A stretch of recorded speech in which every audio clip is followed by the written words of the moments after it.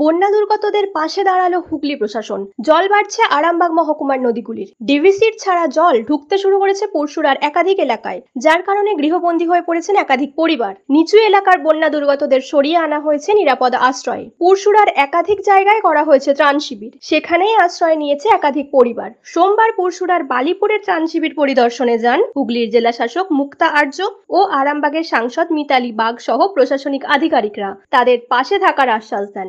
News আজ বাংলা পরশুরা।